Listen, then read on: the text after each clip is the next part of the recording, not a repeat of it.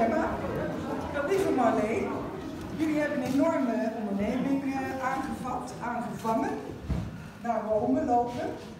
En uh, daar willen wij iets aan bijdragen. Ik denk dat is, zoals we hier staan. Dus uh, doe je best, alsjeblieft. Ik doe even uit mijn pakken. Ja. ja. Ja,